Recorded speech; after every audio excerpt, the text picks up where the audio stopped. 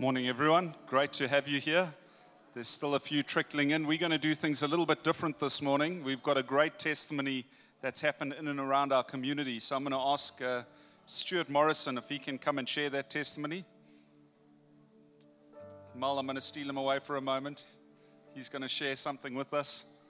Um, just, just before we do that, um, we, today, just so that you're aware, we, we've had the Young Life youth conference, uh, sorry, youth camp that took place about two weeks ago. And uh, we've just had them sharing some testimonies today. They, they shared the message as well, what was shared on camp. And then they, there will be baptisms afterwards. So if you've got time, I think we're baptizing about 14 people. If you can brave a bit of drizzle and rain, it's going to be a great time out on the lawn. We, we'll be doing it there. So I just want to give you that heads up. And then Stu's going to share a testimony with us. Morning, Saints. How you all doing? I'm just telling you, get excited because the service this morning was absolutely amazing and God is really touching people. I just want to share um, one testimony that I actually just got right now. Um, a good friend of mine just came and shared this morning how he's been completely healed of depression. God has completely set him free and he's off all medication. He's been off for a while and God completely healed him of depression. Right now, two minutes ago, that was just shared with me how God has healed him. Can we just get a little bit? I just want to share a quick testimony this morning. Um, I've got two clients of mine who've been coming to this church for two years. I was hoping that they would be here and I would put them on the spot, but that might be too much, so I'm going to just share it. And they've just started praying for their family members. They've been coming here for a year, and they were doing a daily devotional um, by Andrew Wommack, and where he speaks of, of God's will to heal. And um, the one felt very moved to go and pray for a friend who was uh, diagnosed with stage four cancer, tumors all over the body, and, and not a very good um, diagnosis, obviously. This week I was training the both of them, and in the session she got very emotional and started to share how this friend has messaged her this week to say that she went back for another test to start the treatment and the doctor came back with a test and said that they cannot find any cancer or any tumors in the body. And um, woo! Jesus. I just want to encourage you, um, whether you have got any issues going on, physically, emotionally, or spiritually, just open your hearts um, this morning to experience Jesus. Can we, can we do that this morning? Just come with expectation, come with boldness, because God loves you and His grace is sufficient. Amen. Bless you. Wonderful. Can I ask you to stand? We're going to enter into praise and worship. So, Lord, we just thank you that we get to come to you and we know with you all things are possible. We've been carrying uh, things through this week or maybe through um, journeys of health, whatever it might be, but we come to you, the one who's not only has a solution, but that you are the answer. I thank you that you are the way, you are the truth, you are the life. And I thank you, your word says, Lord, that you come with abundant life, life in its fullness. And so, Lord, I just thank you for a full, overflowing encounter with your goodness here this morning. Even as we turn our attention to you to worship you because you are deserving, I thank you that you send your Spirit and Holy Spirit that you just minister to hearts in a significant way. I thank you that even as we've come here just to encounter you, none of us will leave this place without knowing that you've spoken, that you've touched, that you've ministered, that you've corrected, that you've aligned, and that you've accelerated us forward into all that you have for us. I pray that in your mighty name, Lord Jesus. And together we say, Amen.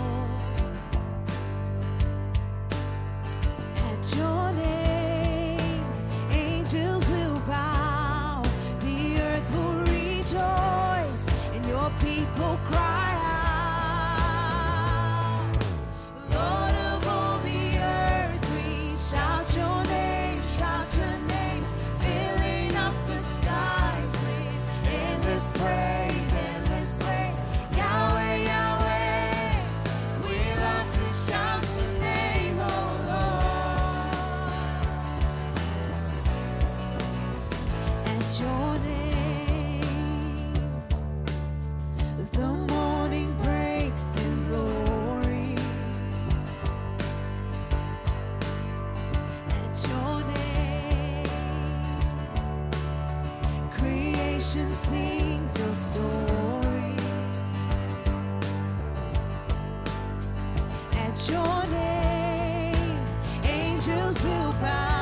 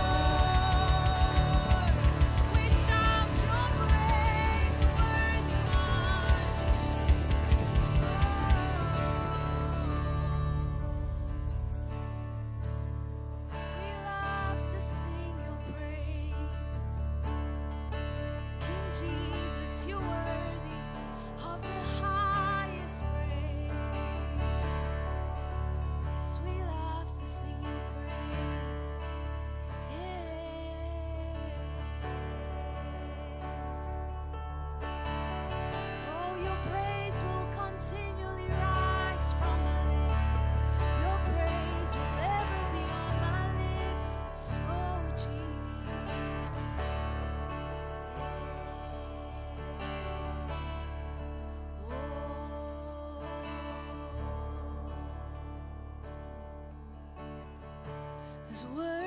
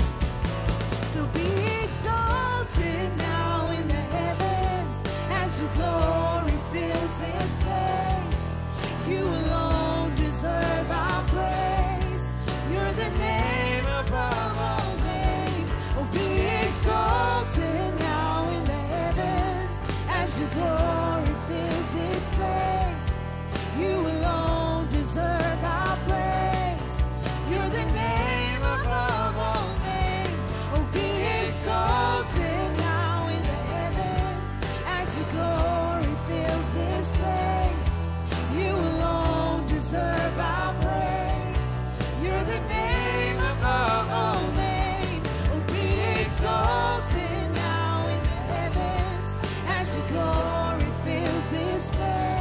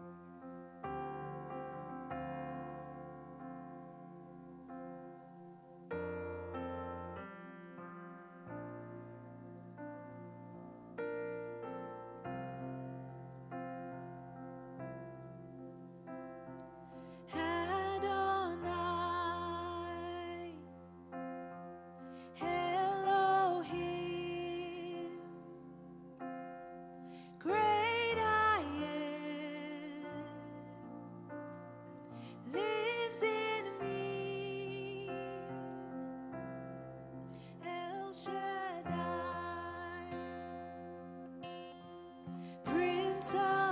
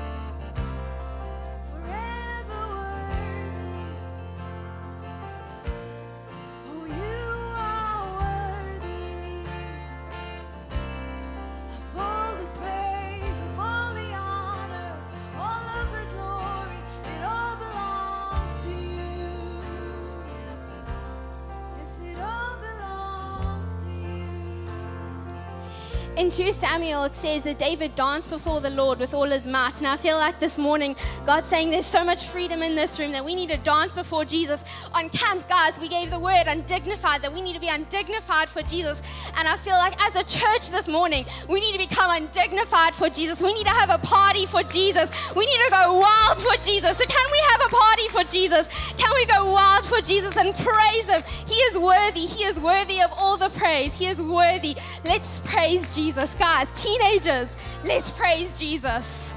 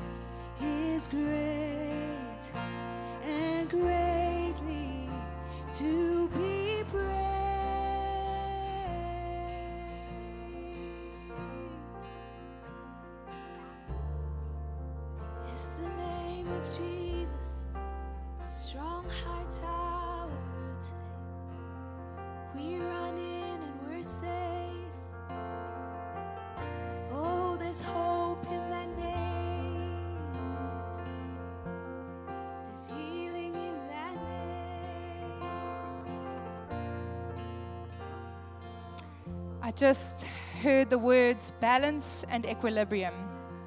And as I watched the rain fall this morning, I saw the, the earth rose in obedience and it remained in perfect balance with the weather. My eyes were drawn to a small bird's nest that looked drenched on the outside, but it was warm and perfectly dry on the inside. I saw in the spirit storms raging, but rocks standing still. I saw trees buffeted by the wind, but washed clean and rejoicing in the storm. I saw a refreshing view of the storm as it brought about a cleansing and a renewing. I felt the Father say, I am bringing an equilibrium and a balance back to your life. With the weather comes new seasons, off fall the dead leaves, the dirt is washed away, the air is cleaned, and what felt choked can breathe again. Thank you, Jesus, for your cleansing now over every person here. Thank you that you bring equilibrium where people have felt off balance. Thank you, Father, that you bring the lost home, that you clean the dirty, that you give new breath to the suffocated, and you give new vigor to the burnt out. While we were worshiping now, I felt a pain in my right ear. And if there's anyone here with pain in your right ear, God is healing you right now. Thank you, Father, that you bring balance and you bring equilibrium. And we just receive that right now. Just extend your hands out to heaven. Present your request before the Father, and He will grant you what it is that you are in lack of, and He will give you what you need. Thank you, Jesus, that you give each and every one of us what we need right now. Thank you that you cleanse us and that you wash us. Thank you, Jesus.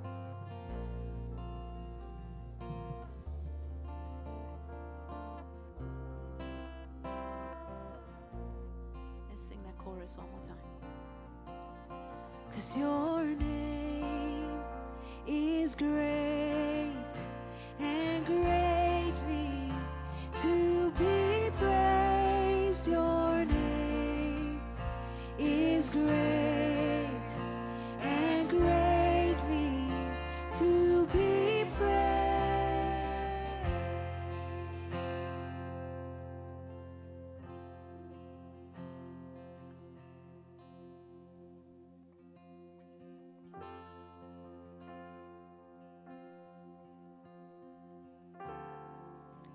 Church, this morning we're going to teach you a new song. It's called Trust in God. And as we sing it, we pray that it would build faith in your hearts to sing this in the middle of any storm, in front of any mountain, wherever you find yourself, that you would know that the Lord is trustworthy. And those who hope in Him, those who trust in Him, will never be put to shame. And so we want to teach you the chorus, very simple.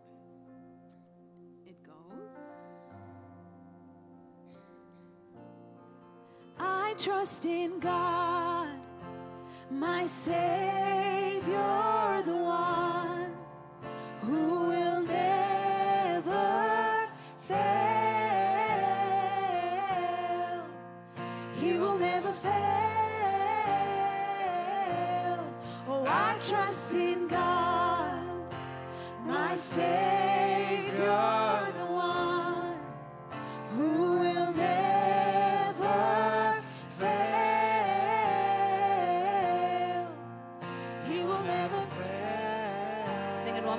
I trust. Yes, I trust in God, my Savior,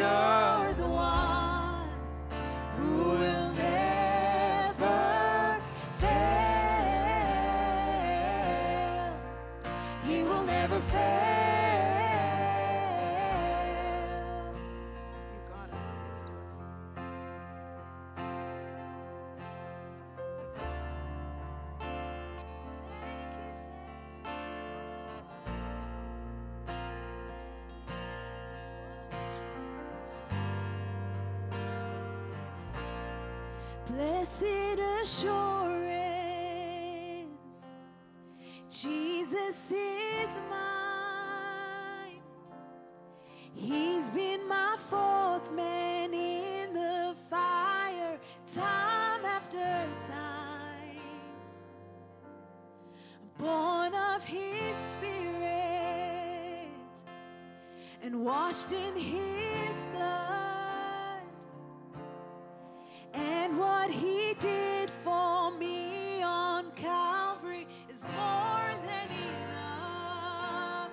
I trust.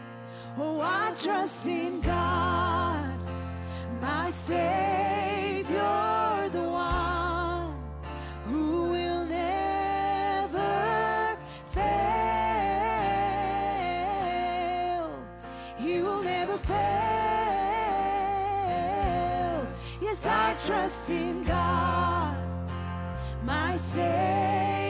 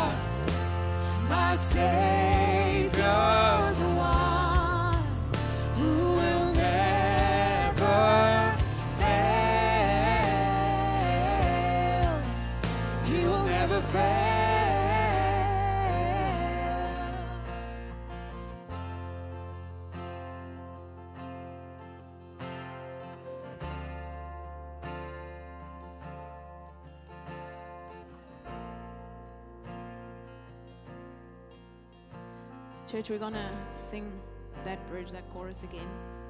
But before we do, this morning I feel like there's some people who are kind of like, yeah, I'm still waiting. I'm seeking the Lord, the answer's coming, trying to keep the faith. And there's other people in the room who have seen him come through time and time again, and they're like, they cannot deny that this was the Lord in this place and that place. So, those people with the testimony in their hearts, they're going to sing this again to build the faith of the ones who feel like they can't lift up their hands, of the ones who can't see clearly, because we could all use with some more faith, some friends who are faithful. So, we're going to sing that again. But before we do, we're going to read Psalm 34, and this is the psalm that this song is based off. And there's just something about singing the word that realigns, that recalibrates you to the truth and to what the Lord's doing in and around you. So, Psalm 34, verse 4 says, I prayed to the Lord, and he answered me. He freed me from all my fears. Those who look to him for help will be radiant with joy. No shadow of shame will darken their faces. For the angel of the Lord is a God. He surrounds and defends all who fear him. Taste and see that the Lord is good. Oh, the joys of those who take refuge in him. Fear the Lord, for those who fear him will have all they need. Even strong young lions sometimes go hungry, but those who trust in the Lord will lack no good thing. Those who trust in the Lord will lack no good thing. Let's just say that together. Those who trust in the Lord will lack no good thing. Thank you, Father. What a promise. What a God. Thank you, Jesus. Thank you, God.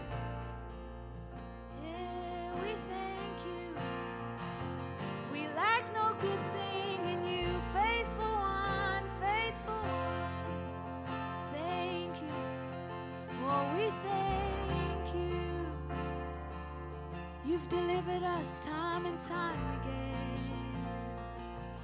Yeah, let's sing that bridge. I sought the Lord.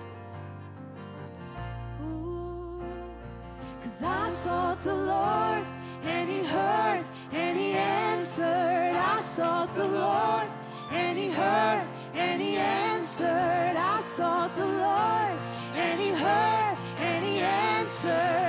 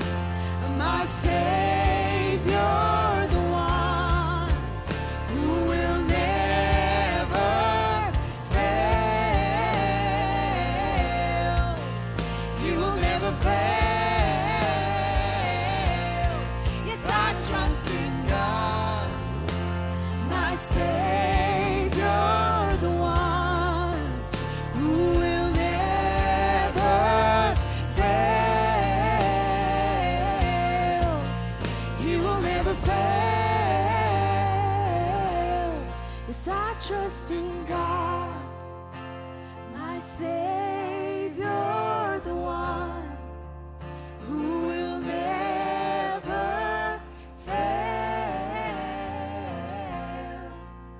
He will never fail. Yes, I trust in God, my Savior,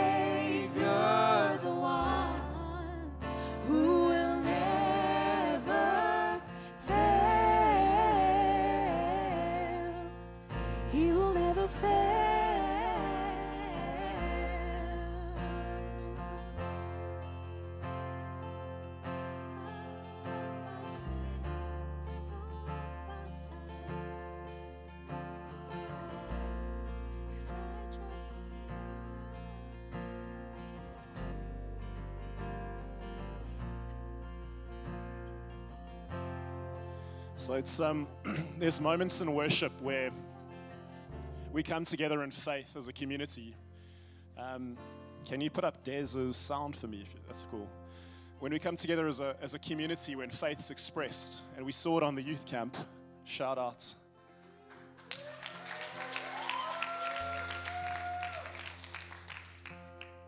That we give God the opportunity to shatter ceilings as, as a community, but also off individuals.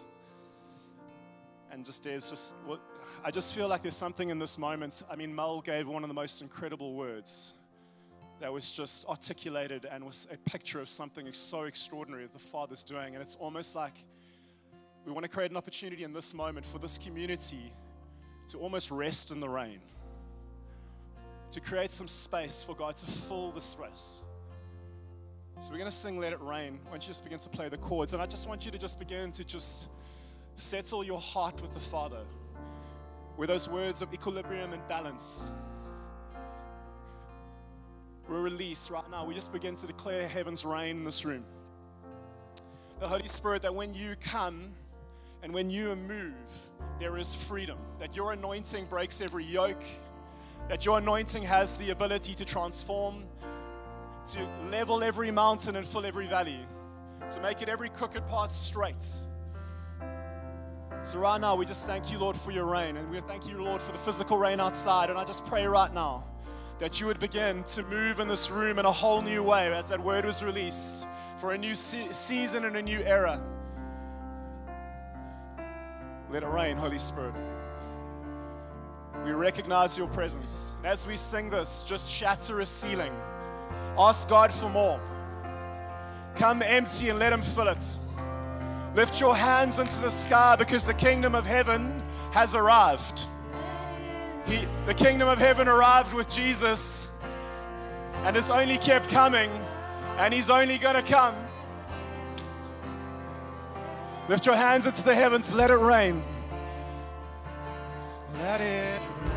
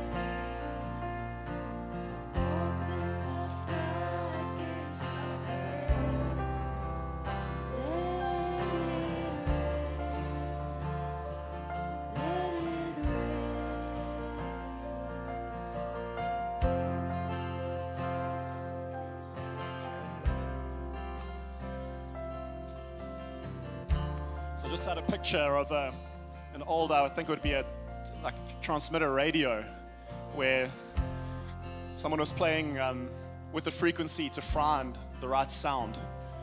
And it's almost like I feel like what the Lord is doing, and this one of the things He's doing this morning is He's, he's trying to tap us into the right frequency the frequency of His presence, but also the frequency of His voice. Because the voice has a world, and the enemy has a world, and your mind has, a, has its own frequency. And it's like something of this morning where the Lord's going, okay, you've heard the wrong radio station. You've heard the wrong frequency. You've heard the lie of the enemy that you're not good enough, that you're not worthy, that you're not righteous, that you're not powerful, that where the enemies come to intimidate. There's something about a new frequency of us beginning to tap in to His voice. So, Holy Spirit, we thank you right now that you would just tap us into your frequency, that you would make us more aware of you than everything that surrounds us, that every circumstance that we would face. So, right now, we thank you for a stirring of a new faith in this community, right now, just to begin to tap into the frequency of the one. Only your voice. Only your voice. So we speak to the mountain to great grace. Great grace to the mountain right now.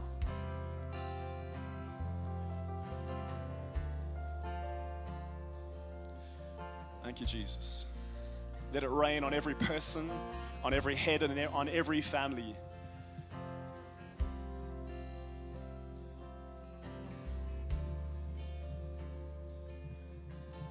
Just as we've been singing, Let It Rain, and let His presence just fill this place.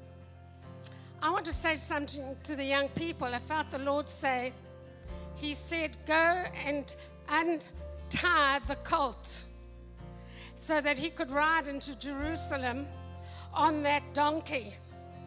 And He's saying, the young people, it's a young, a colt is a young donkey. And he's saying, I'm letting you loose. You have been loosed to be carriers of his presence.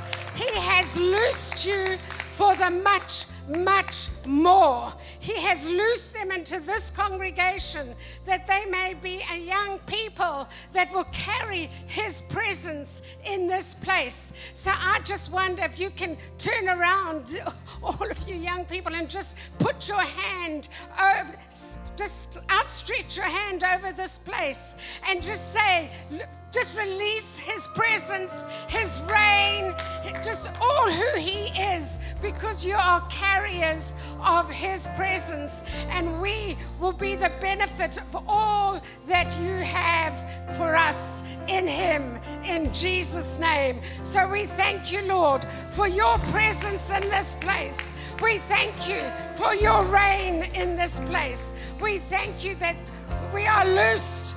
We are loosed. We are all loosed to be carriers of Him. The, bond, we are out of bondage. There's no religion that can tie us down. There's no traditions that can tie us down because we are free. We are free. We are free. We are free. We are free. We are free. We are free. We are free. We are free. We are free. Shout, we are free. We are free. We are free. We are free to be carriers of His presence.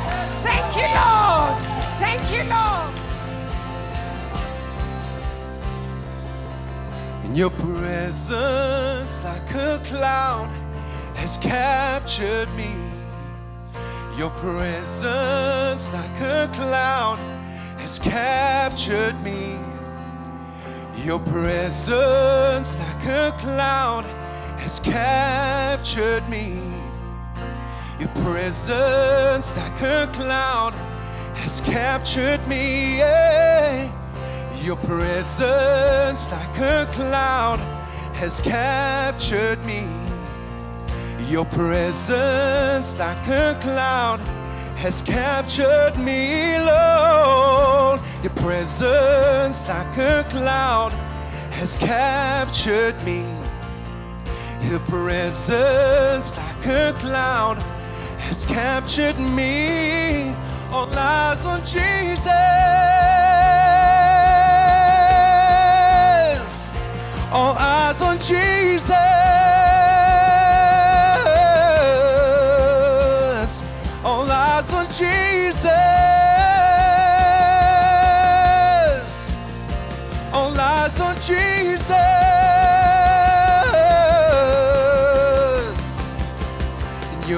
Presence like a cloud has captured me. Yes, Lord. Your presence like a cloud has captured me, Lord. Your presence like a cloud has captured me. Your presence like a cloud has captured me, Lord. All eyes on Jesus. All eyes on Jesus. We look to you, Lord. All eyes on Jesus.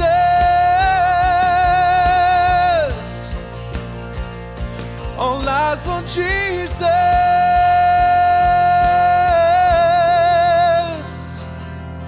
It is you, Lord. Yes, Lord. It is you, Lord. We lift our eyes, we lift our hearts, we lift our hopes, we lift our fears, we lift our worries, we lift our burdens to you, Father God. We lift them all up to you. From it is you, it is you, Lord God, from where our help comes from, Father. So as we stand in your presence like a cloud, Lord God, and as we consumed by you, Father God, you would come down and take all that is not of you, Lord Jesus.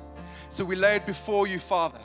We lay all our everythings before you, Lord Jesus. We say, Father, would you come and would you have your way, Lord God, because you are good, because you are kind, because you are faithful, Lord Jesus, and your heart is towards us every single time. So, Jesus, all eyes on you. All eyes on you, King Jesus. Faithful, faithful God.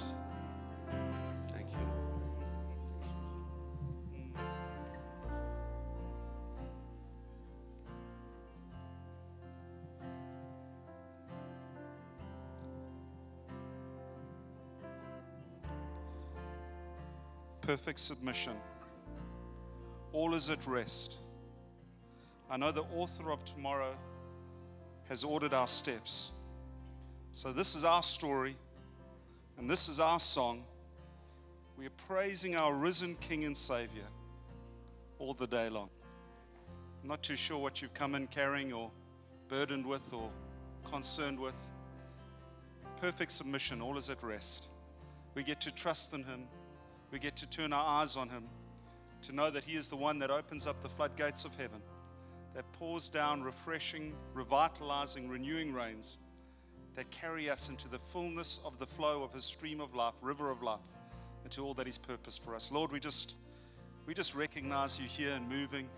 We just thank You that that doesn't stop at the end of worship, but it continues in every interaction and every word spoken and everything revealed to us about who You are as you are the living word opened up. And so, Holy Spirit, continue to breathe in this place and on each life. In Jesus' name we pray. Amen. Amen. Won't you take your seats? Won't you greet someone near you? I know we filled up in that amazing time of worship. Thank you, team. Thank you, Naz.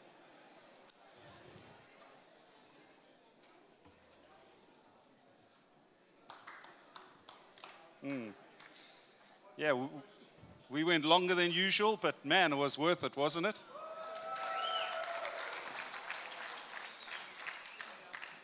We had young life sharing in the first service, just what God's been doing in their youth camp, and there were testimonies and overflow, and it spilled over into this service. So we, we're expectant that you're going to just have a wonderful time just hearing what God is doing, not only in young life, but in releasing new life for us as a community.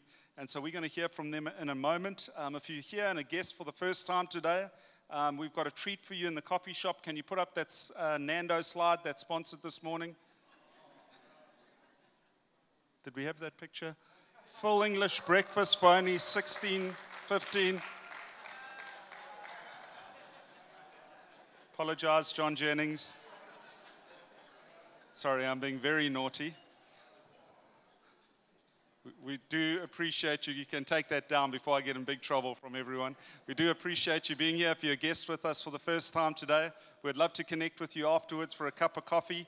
But um, just be aware, straight after the second, we're going to be on the grass. We're going to be doing baptisms I think there are about 14 or 15 people. If you're wanting to be baptized, um, come and speak to us. We'd love to baptize you as well. I know that a dad has already said, My son's getting baptized today, and I want to get baptized as well. So we're going to have a great time together. If you are here for the first time, sorry, I should have said, can you raise your hand? We're going to get a voucher to you for a cup of coffee and just to provide moments that we can connect. Great to have you with us. Just keep your hand up, we'll get that to you. Um, over here, Cam, there, just keep your hands up, we'll get it to you. Great to have you with us today. Um, we do want to give time for um, bringing our offerings and um, just investing in what God's doing with us as a family to see His kingdom advance. Uh, those are ways that you can give. And we're going to go straight into video announcements. Sorry, I'm trying to rush because I, I want to give the young team as much time as possible. So if we can play the video announcements.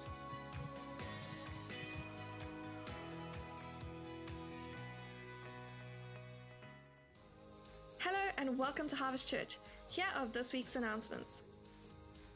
Join us for Burn 24 7 this coming Saturday from 7 a.m. to 9 a.m. at the Harbour Wall as we pray and worship over our city. We hope to see you there. Hey, I'm Craig Groeschel, and I would love to invite you to join me this year at the Global Leadership Summit. The Global Leadership Summit is the perfect place to grow in your leadership with fresh and actionable insight to help stretch you to become a better leader. This is an event that I've attended for years, and honestly, it's changed the way I lead and helped my leaders grow in their leadership as well. And this year, I'm honored to do the opening talk, and I want to talk about something that is a global challenge, and that is that people simply don't trust others like they used to. And this is a massive problem for leaders. And that's why I say that the future currency of leadership is trust. And what I want to do is show you very specifically how you create, build, and sustain trust of the people that you love and lead. It's a talk that's impacting our church, our leaders, and I know will impact you. I'd love to see you this year at the Global Leadership Summit. You will get better, and we know that everyone wins when the leader gets better. This is your last chance to book your tickets for the Global Leadership Summit happening this week Friday from 8:30 to 4:30 here at Harvest. You don't want to miss out. To book your ticket, please go to our website and click on the link under the events tab. Make sure to use your promo code GLS23HCU to get your harvest discount. For those that have already booked your tickets, please make sure to bring your tickets with you for registration. That's all for this week's announcements. We hope you enjoy the rest of the meeting. Morning, everybody. I just uh, felt that I needed to come up when Zippo encouraged all of us who had called on the Lord and knew for sure that He had answered us and had blessed us with what we had asked Him for. And Colin and I have a testimony of asking the Lord for children many years ago, and uh, and we waited on Him, and uh, it was a longer wait than we wanted it to be, but we waited, and He answered our prayers. And I just felt that when we sang that song today, as Nazipa encouraged those who had experienced it to be able to sing and to be able to lift up those that are waiting on the Lord, I wanted to ask anyone who is waiting on the Lord for children to come and meet with Cole after, and uh, afterwards, because we can walk alongside you. We know what it's like, but we can testify that He is a faithful God and He answers our prayers.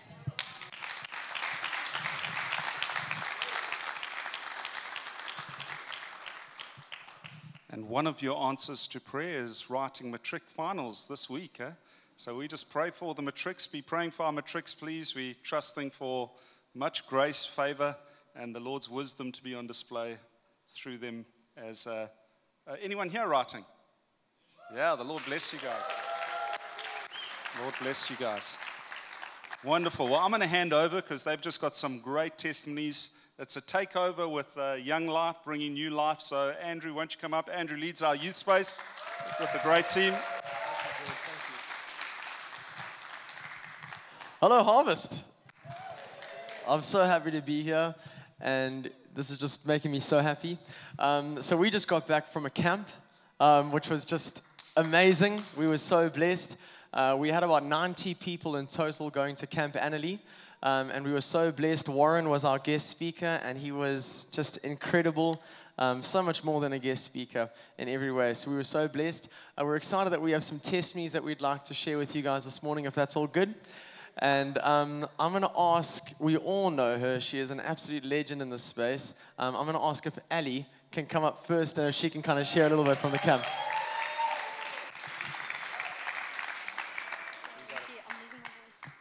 I'm actually losing my voice from this morning. Um, but good morning, Harvest. So, um, honestly, camp for me was honestly just one of the best weekends of my life. I felt Jesus move so incredibly in my life, and it was an honor and a privilege to witness all of our teens experience God in a brand new way. Some of them, uh, to see them so on fire for Jesus, so hungry to experience Him, so eager to seek His presence. Um, and to have encounters with him in, in their secret places, some for the very first time. Um, and when I asked some of the teenagers to explain camp in like a sentence or a word, the most popular answer was life changing. And I think they couldn't have been more spot on. It was life changing. On the second night, we had the privilege of having Susie Tricky, who is a lady in this church. She's not here today, but she shared on not letting, um, not changing our name, and that only Jesus can has the uh, can change our identity. And she spoke about um, stepping out of our comfort zones, of not being afraid of what people think or say, and of getting over ourselves so that God can work through us. And something that she said really stood out to me. She said that God is redefining who we are. He's redefining his children.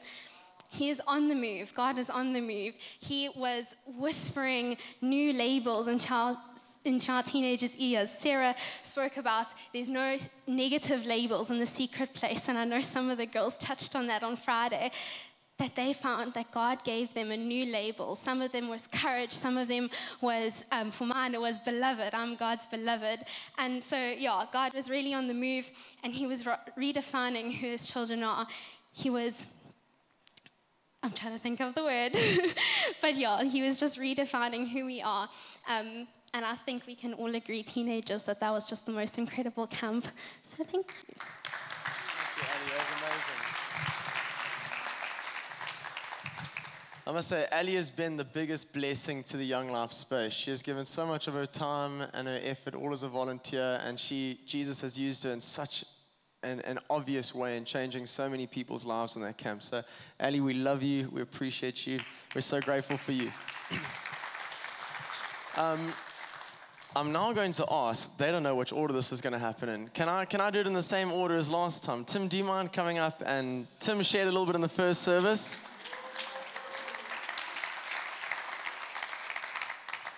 Tim is such a legend.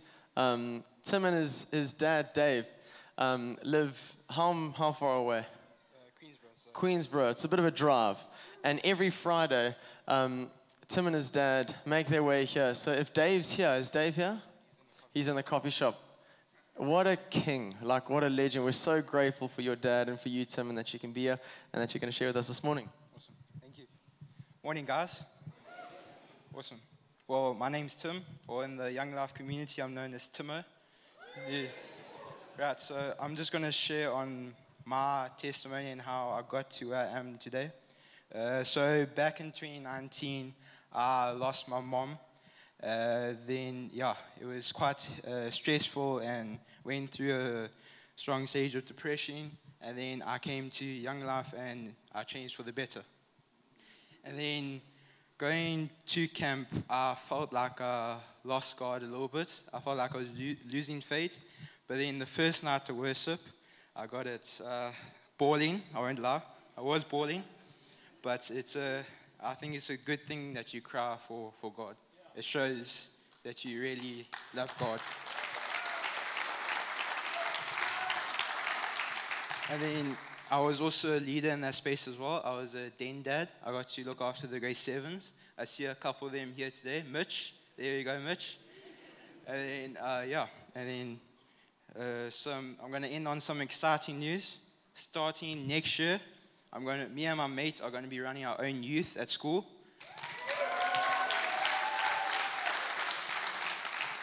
It will be on a Wednesday at second break, and we'll be sharing. I'll be sharing testimonies and Bible scriptures, and maybe some worship if we can. And yeah, that's my testimony. Thank you.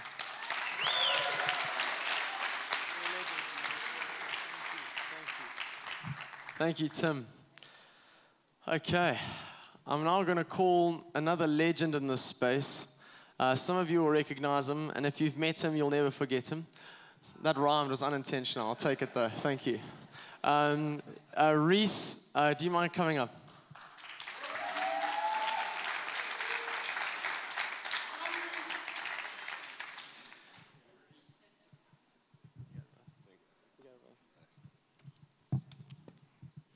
So, hello, church. Um, I'm Reese. Yeah. um, so I'm just going to share just a little bit of my testimony, but first a little bit of background also on myself. Um, I grew up Catholic all my life, well, up until this point in my life. Um, and like I never really went to church or like read the Bible. Like I knew about Jesus and all that, but it was I didn't really strive for a relationship. So eventually I got introduced to Young Life at I think 2021. I got introduced to Young Life and I started coming to Young Life. I didn't really know much about Jesus and things. So when the preachers happened, I'd listen, but like I wasn't there. And when worship happened, I was like, I was there, but not really. You know, I'll sing along here and there. But yeah. So then I went on a few camps. I went on the first, my first camp ever being at Young Life. um, and to describe the three camps I've been on, the first one was meeting God. Second one was opening my eyes, and now this last one, um, now I'm to share on, was life changing now. So coming to this camp.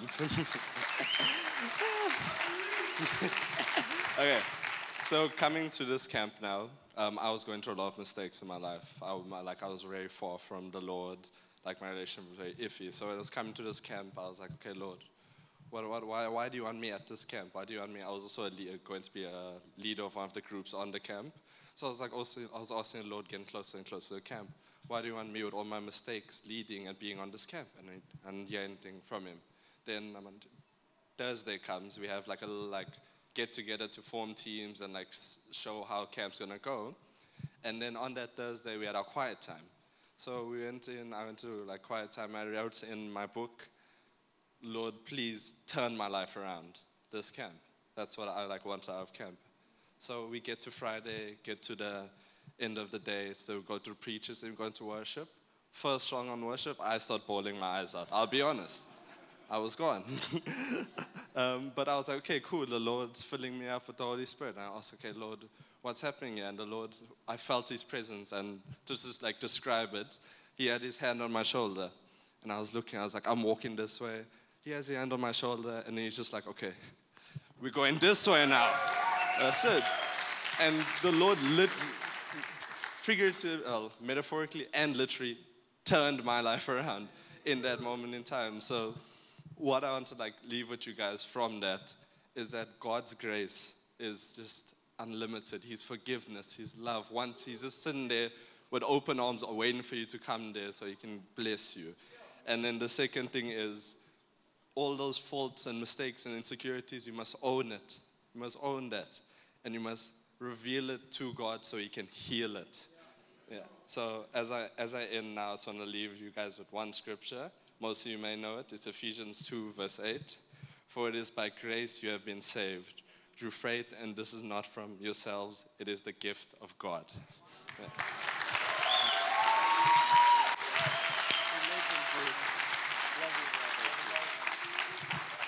Oh, Reese, you are such a king. And also, just to add on that, Reese was a like a team captain, so four teams, and t- um, um, Reese ran one of the teams and just did it with such an awesome energy. The kids, everyone just loved him. He's one of the most lovable guys we've ever met. Such a king. Um, anyway, you guys cool with it if we do a few more testimonies? Okay, I think we need a girl up here. Do you guys agree? Z.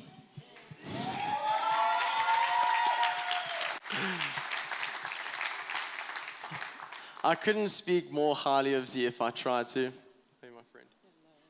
Um, Z is, you've been at Young Life for, for over a year now, hey? And just such an example of a light, such a reflection of Jesus, honestly. Um, she, you're 15, 16? And just like such leadership over her life. You guys will just see it. Um, and she's just such a legend in the space. I'm so grateful that she's a part of the Young Life family. Here you go, Z. Um, morning, everyone. Um, so, for those that don't know me, my name is Ngozi, and I can definitely say after going to um, my second camp for Young Life, it was honestly just like Ali said, life changing, and it was so amazing to like witness people um, feel the touch of God and like just seeing them grow their relationship with God. Um, so, a few things that I wanted to touch on that I experienced on camp is I walked into camp as a team captain for the Blue Tribe, and um, uh, in the second night during worship, I was talking to God and I was asking Him because something that I've always been told my whole life is that, you know, every time you walk into a room, you light it up and, you know, it always makes me feel good. But then I was, I was praying to God and I was asking Him, um, what happens, like, how do I keep my lights from not fading? Because, like, life is not easy and, like, sometimes it's hard to keep the lights shining. And then in that moment, because usually I, my whole life I just accepted it. And then finally, when I asked him, he, I like literally heard him, and he said, You don't have to worry about being the light because I am the light inside of you. And I was just like, um, so yeah, it was just very eye opening. And I thought of Psalms 18, verse 28, and it says, You, Lord, keep my lamp burning. My God turns my darkness into light. And from that point on, my eyes just been open, and now I realize that if this resonates with you, you just have to remember as long as you have God inside of you, you'll keep on shining because God's light never fades, it's everlasting and it's eternal. And then the last thing that I wanted to touch on is um, on the pre session on Thursday, um, we had a little bit of quiet time. We were writing down the things that we wanted to like expect in camp. And I said that I really want God to use me for like words and pictures and like giving people because like my whole life I'd like get like three out of like for like a year and stuff. But then going into camp, I was praying into that. And during the whole camp, I got like seven words for different people. And ever since then, like after camp, it's so cool because I'd break it in our school. We sit together and we like come up with words and we like connect and it's just really amazing. And it was really crazy because I thought of the exact same verse that they said during worship. I read Psalm 34, verse 4. I sought the Lord and he answered me. He delivered me from all my fears. And I, I feel like people need to remember that every time you pray, you need to pray with faith and thanksgiving. And um, God answers your prayers when the time is right. He knows the plans He has for you, and He'll answer them when the time is right. So, with all that I've said, I'm very proud and very happy and very honored and excited to say that after church, I am getting baptized, and I'm so ready to pursue the kingdom of God.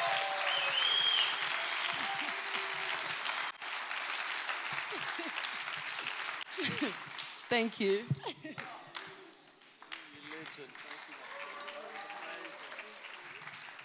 See what I mean? I mean, come on. What a legend. Oh, that is so beautiful. Thank you, Z. Um, I'm now going to ask is there someone that I've left out or we're going to go on to? I'm now going to ask Brandy mm, if you can come and share a little with us.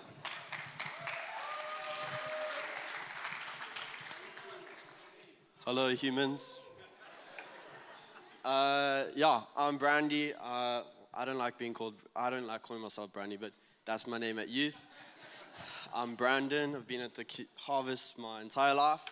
And uh, yeah, so just uh, what happened on camp for me and, uh, well, pre camp.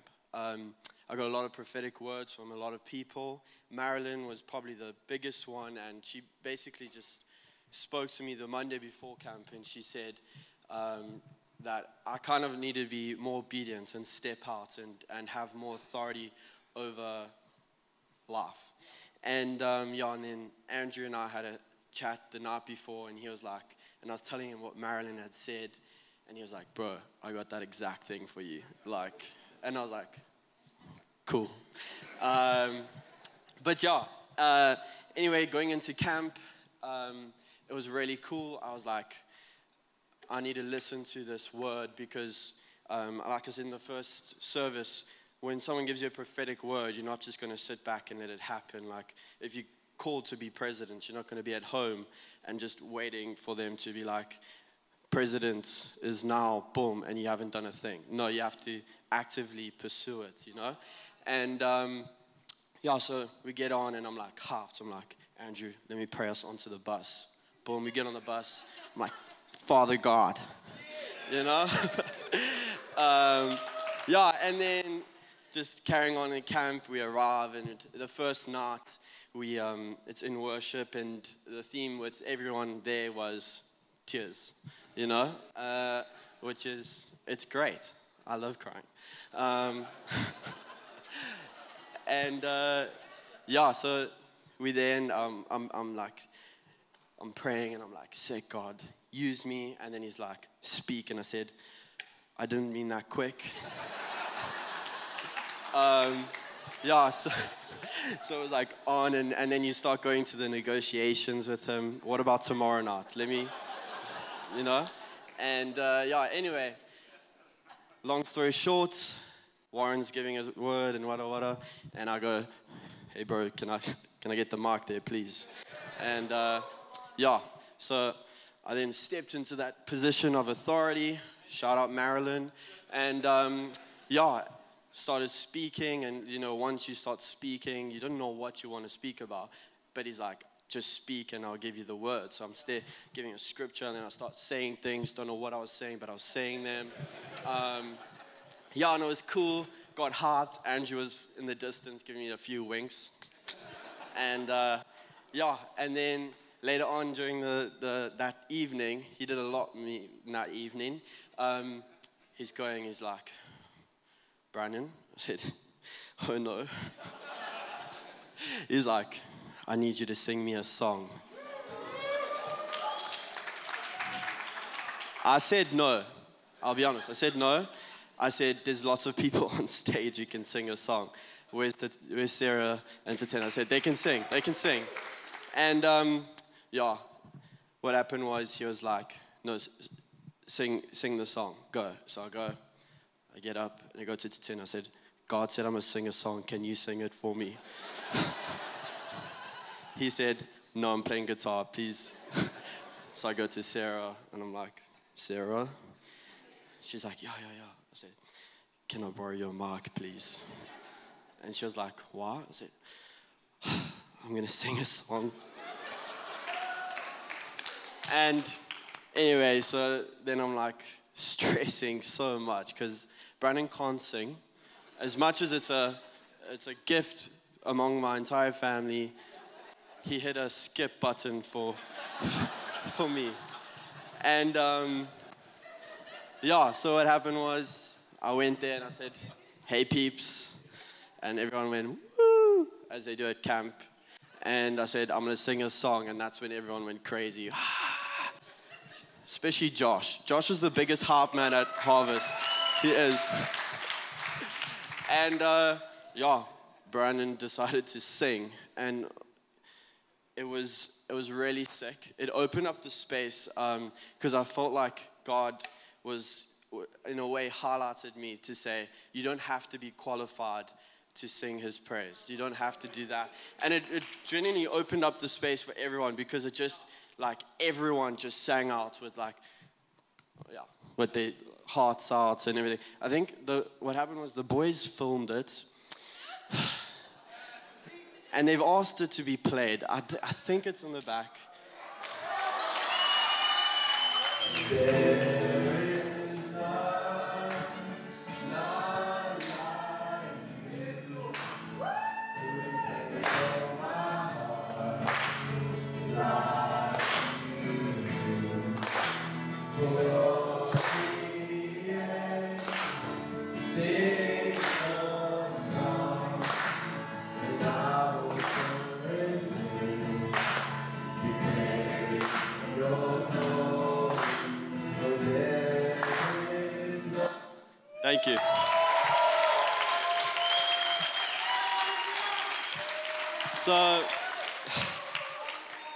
as you could tell, wasn't that great.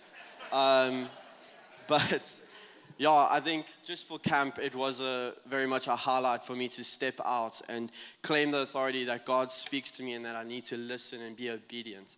And uh, just, it's gone into my workspace as well, where there was a lady at work, and um, I'm not sure she's here. She, I spoke to her. She was keen to come. No. Um, anyway, uh, she was walking, and I kind of got God was like, tell her how lovely her hair looks, and I was like, okay. um, cool. So I was like, hey T, did you like cut your hair? Because it looks great. And um, she was walking on a mission. She stopped and turned, and she got like really teary, and she was like, um, "Yeah, I did actually." And you're the first person to actually notice. And um, she was like, not even my husband noticed, which is, and she was like, I'm actually really grateful because I think in that time she felt a little bit, because it wasn't the best cut, she said. I thought it was great. I was like, it's, it's a brilliant haircut. And she was like, yeah, there was a lot of tears because she didn't do it right. But um, she was like, thank you. You've given me a lot of like self-confidence in that. So, um, yeah. And so just, I quickly wanted to pray because I'm, I'm going on my comfort zone as well in praying. I asked Rich, Rich, Tell me when to pray. Tell me, I'll go do it. Um, because there's a lot of prayer warriors in my life. My uncle Ryan being one of them. Yeah. Um, yeah, so Father, I just thank you for just who you are and just what you do in our lives. And I just thank you that um, for every single one of us, that when we go out to our day to day lives, that you'll just let us be obedient, help us be obedient, and just when you speak, we listen. And uh, yeah, and just the more that we do that, the more time we spend with Him, the more we get to know Him and hear His voice clearly. So yeah, thank you, Lord.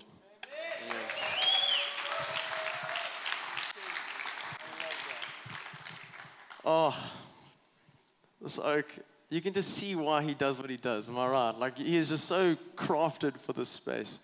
Um, Randy, I hope you don't mind me saying this, but just to highlight what Brandy's just done and what that represented.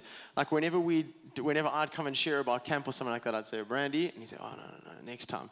And you can just see the authority that God stamped on this guy's life, and I just, I just so see that from you, Brandon, and your obedience is beautiful, dude. It is so cool and such an example. Um, so love you, dude. Thank you for doing that. Okay, do we have time for one more? The last one is from yeah, I call him one of God's favorites. He is such a legend. And when we were discussing who's going to be the, the guest speaker for camp, there were a few, name throw, few names thrown around. And then you were like, Warren. And I was like, sign the contract. You know what I mean? It was just so obvious to us. He was just, he is just such a legend. And just, just personally in, in my life, Warren has been just such a blessing. Like Jesus has used Warren so evidently in my life with, with bringing clarity to things for me. Um, and I, am just so grateful that he was able to join us in camp. Um, and I think all of us can testify how much of a blessing he was there. Um, and even still, we, we just love you, Warren. So thank you. Here you go.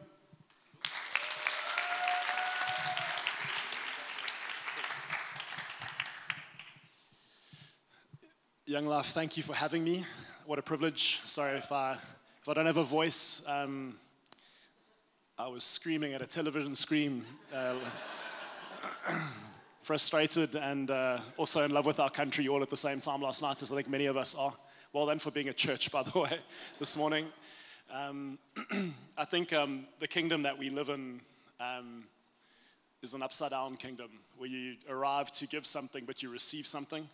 Um, it was just an absolute privilege to be a part of the camp. Um, I felt like I left being a part of something that God was doing with you guys just in a whole new space in my own world. So thank you for shattering a ceiling of my life. What an absolute pleasure. Um, and just the hunger, um, I think part of the testimony, apart from just how phenomenal, if you see these young leaders being raised up um, and how they lead, um, what God can do through you guys and what He did through you guys is because of who you are and the way you carry Him and the way you lead people the way you carry his heart. So, what a privilege to see young leaders rising, taking their place. Brandy, class act, bro. Um, I, thanks for making sense this morning of what happened on camp because I was going, I don't know what's going on. Um,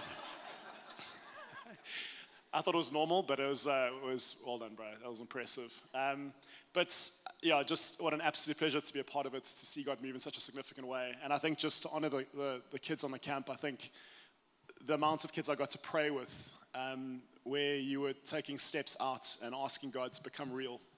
Um, and the way He stepped into your world just was an absolute privilege to be a part of that. And just what a testimony of hunger. I wish there's a video of Sunday morning to see this youth camp literally bouncing.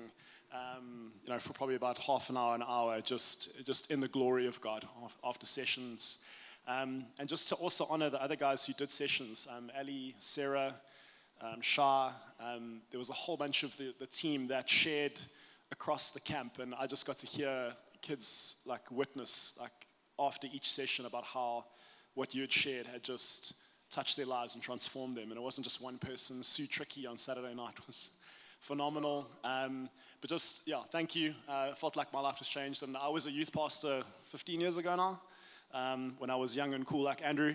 Um, and uh, yeah, just there's something about youth on fire. And what a phenomenal word from Roseanne this morning for the house and for this community. Rose, that was, you went on camp, but you read that thing, yeah, just so beautifully. Um, and can I just say that the, the way that this young group of people worship God, they have the ability to transform lives. You bring freedom, you allow God to move in ways because of who you are and the way you carry Him and the way you go after Him. You, are, you set the stage for God to move, um, and you did it night after night and session after session. What a privilege to see it, what a privilege to be a part of it. Um, can I pray for you before you preach? Is that all right? Awesome. Lord, I want to thank you for a young man, but I want to thank you for a son in the house of God. I want to thank you for the man he has already become and everything that you're doing in his life and the, his heart for you. I just want to thank you for a young man on fire for you, a, a young man who's living for you. And I just want to pray, Lord, that as he steps into this moment this morning, that he'd feel the full weight of your presence, of your anointing. We even just thank you, Lord, for your spirit as he rests upon him now. That he'd feel your freedom, that he'd feel empowered. And we thank you for a young man that is rising in stature and in authority. Lord, thank you that you would just unleash him this morning on this community. Amen. Thank you, Warren. Thank you, Warren.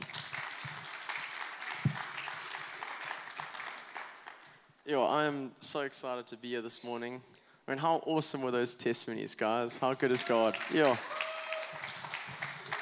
Okay, today I'm going to be sharing on the same preach that I did at camp, um, and that is um, the five ins of your quiet time and relationship with God. So, sorry, I've skipped a slide. The amazing race for a secret place, that was the theme for our camp.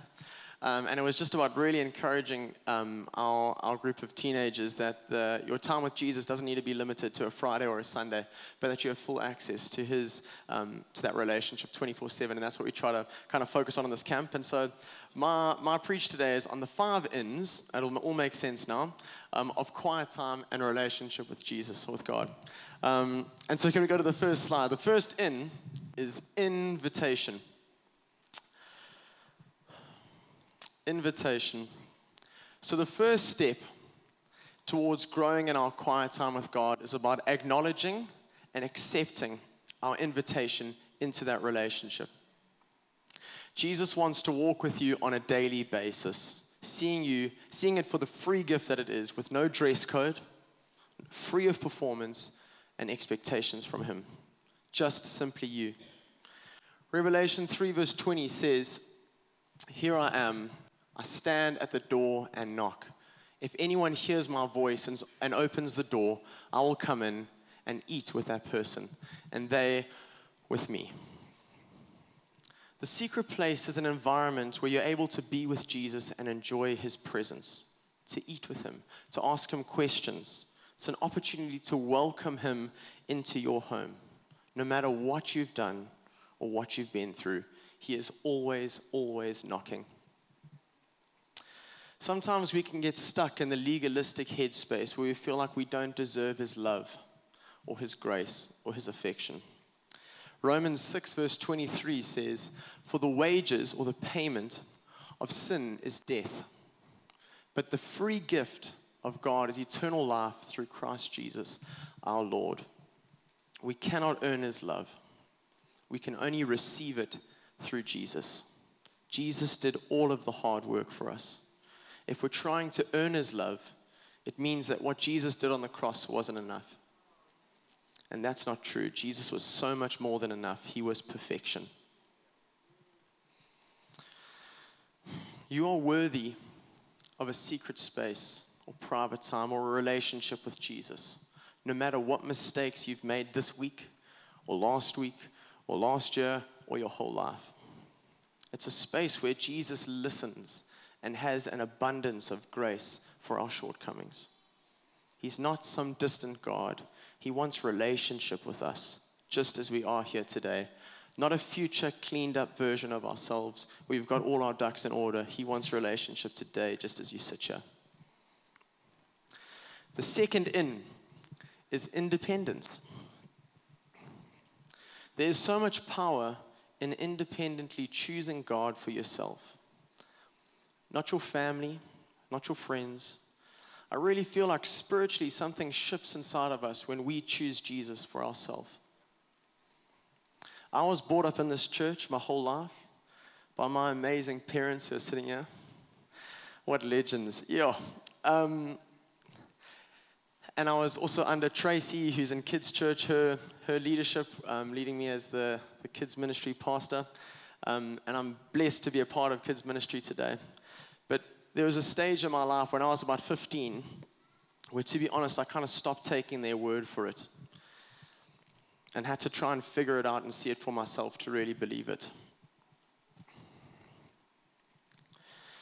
He, Jesus loves that there's weight to that decision. He's got so much grace for that decision. The fact that there's weight means that it's that much more important. Jesus loved that I really spent time looking into that. If he didn't, if he wanted us to earn our relationship, God would have never sent Jesus. If God didn't want relationship with us, he would have never sent Jesus. Jesus is the key to our relationship with God. If we look at Psalm 16, verse 5 and 6, it says, My choice is you, God first and only. And now I find I'm your choice. You set me up with a house and yard, and then you made me your heir. When we choose Jesus, we can finally see so clearly that He's chosen us for so long. That He's chosen us and it's only when we turn and face Him that we can see that He's been just following us the whole way. When you choose Jesus for yourself, there's something so beautiful and empowering that often, that often makes us feel that much closer to Jesus. You're no longer seeing Him through the eyes of your beautiful mother or your legend of a father. You're seeing Him for yourself. You're no longer seeing Him through the eyes of your spouse or your Christian friends you're seeing him for yourself, and he's so beautiful. Are we ready for in number three? Okay, intentionality. I'm speaking to myself here when I ask, are we being intentional with our time with Jesus? Are you crafting time, creating time for this relationship? If you guys don't mind, I'm going to tell a little story. So, my beautiful girlfriend, Amy, was here in the first service, and I embarrassed her then but I'm going to share on her now. Um, whenever I see the word relationship, I instantly think of Ames. And um, Amy and I's relationship started a while ago in this church, where I was kind of seeing her and thinking, she is beautiful. And I'd like to think she thought the same. um, and one day she went to her mom, Tracy, and said, Mom, could we ask the Suttons if they would join us for lunch? And you got to respect it, guys. Am I right? You love it when the lady makes the first move. Amen? Thank you very much. I'm just teasing. Um, and so, so Tracy said, Yes, of course, let me go and chat the Suttons. And it was in this church. Tracy came to my folks, I'd imagine, said something like, We're going to the driving range for lunch. We'd love it if you and your family could join us. Unfortunately, we already had plans that day. I know. But we serve a good God. Amen? And plans were changed. and we last minute decided, you know what, the, we can't do that anymore. Why don't we just go to lunch with the Dawsons? And I sat next to the beautiful Amy Lee Dawson, and I showered her in compliments. And I walked out of that room. Julia was sitting next to me in Ames, and I said, Jubes, there's something special about that girl. And it was from then on that I was incredibly intentional with that relationship. That if Ames had a test on the Tuesday, you can be damn sure that Tuesday morning, 10 to 7, good luck for that test today. Do you know what I mean? 10:30, how'd the test go? You know what I mean? If Amy was frustrated by something, I had all the time in the world to listen to her. I could help make plans and change things. I was so intentional with that relationship, pursuing that relationship. And there's been so much beauty that has come out of that relationship in my life. So the question is are we seeking Jesus and our relationship with Jesus with the same intentionality? It's in the everyday, it's in the mundane. It doesn't have to be alone in the corner of your bed with a Bible open. Are you seeing Jesus in your everyday life? If you've experienced the Holy Spirit, you have access to that 24 7. He is with you forever. In Acts 17, verse 28, it says, For in him we live and move and have our being. So, what are our intentions with Jesus? Now, after a weekend or a time where we saw Jesus so clearly at camp, um, it can be very easy to see Jesus in all of this. So, are we having our relationship as we only see Jesus when it's easy to see him? And then, as soon as things go bad, we think, Where are you? Please come. And there's frustration in that. Or is it the opposite way around that when we need Jesus, we're saying, Jesus, I need you. Please come into my life. Help me. And then as soon as we step out of that space and He's helped us, we go, Thank you. I should be good for now. Do you know what I mean? There's a story that my dad told me a few years ago that I loved. And it's about this person who's driving around in a car park. And they've been driving around for five minutes looking for a parking. And, and eventually she says, Jesus, please, can you help me find a parking? And she turns the corner and there's a parking. And she says, Don't stress, I actually found one. Don't, don't even worry about it. so, are we only seeing Jesus when we need him? Or is our relationship and our sight of Jesus consistent?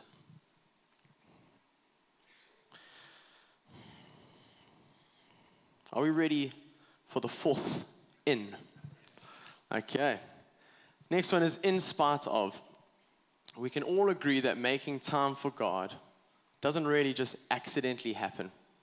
Your flesh, the world, the devil, other people are always trying to distract you from your time with Jesus. The enemy is constantly looking to get in your way of your relationship with God. But we have full authority to put the enemy right back in his place. I think Brandy and I have found our authority to put the enemy back in his, back in his place this year. It can be the simple things like phones, lack of sleep, being super busy, feeling a little bit lazy. That's what I wrote for camp.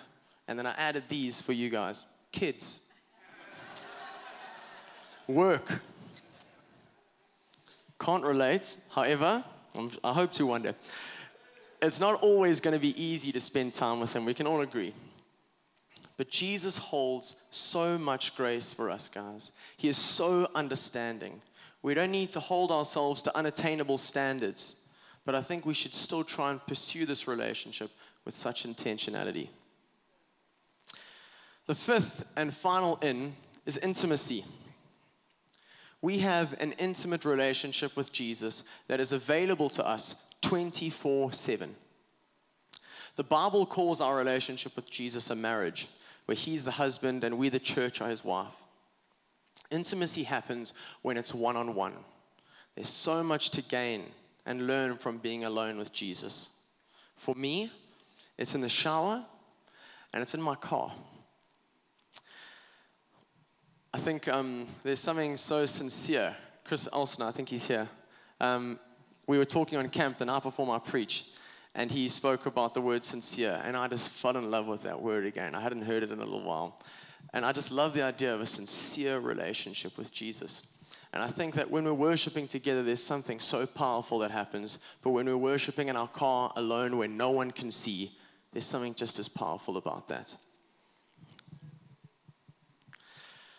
So, as I come to an end, my prayer for us in this next season is that we all grow closer to Jesus through our own unique secret place. That Jesus is going to empower us as a community with words of encouragement for each other, prophetic pictures, songs, poems, and a heart for worship and a deeper understanding of His love.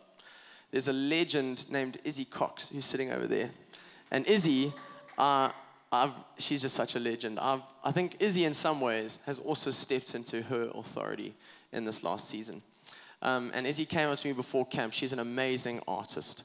Uh, Anna De Vlug was here earlier, and she's Anna has been such a legend. But Izzy is just so, so, so prophetic with her art.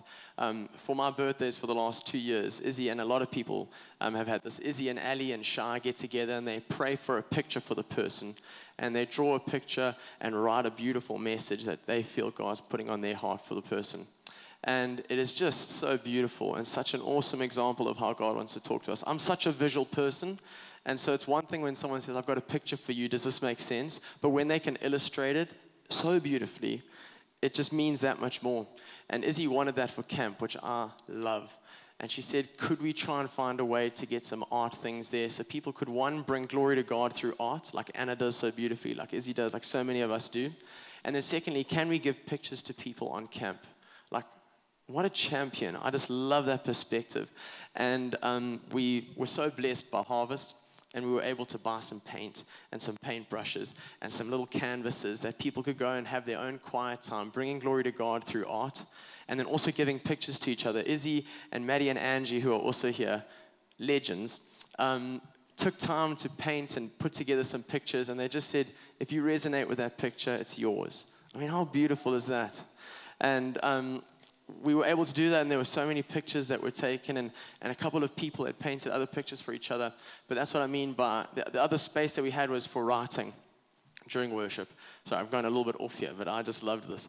Um, people could, could write words for each other. They could write poems. They could write songs if they wanted to. We had a little dedicated corner for people who wanted to write things, people who wanted to draw. And then there was another section with just a chill area where you could just rest and you could just find rest in worship. Anyway, so I thought that was very cool.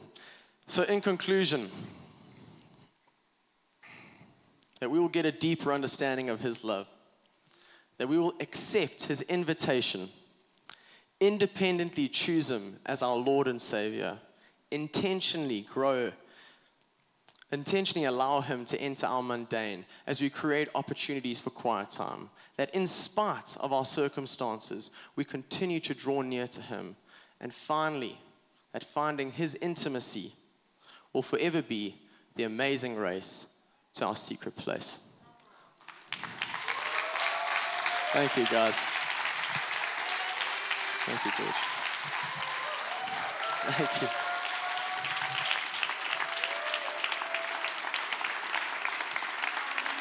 Thank you.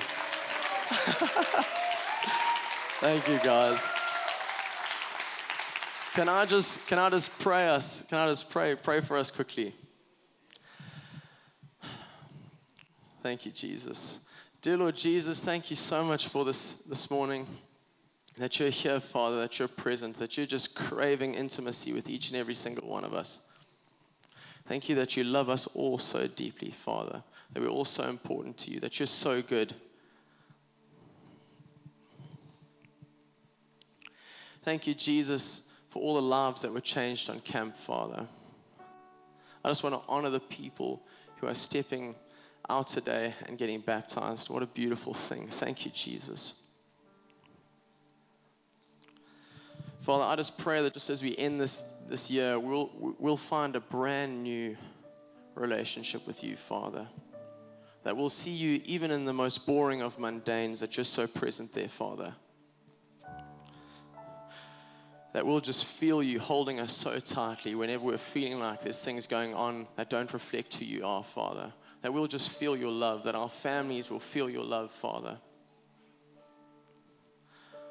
Help us choose you independently every single day, Father. We're so conscious of you, Jesus. Thank you for the camp and the favor you gave us. Thank you for Warren and how you used him in this camp, Father. Thank you for all of the leadership who stepped up and just said, How can I serve you, Father?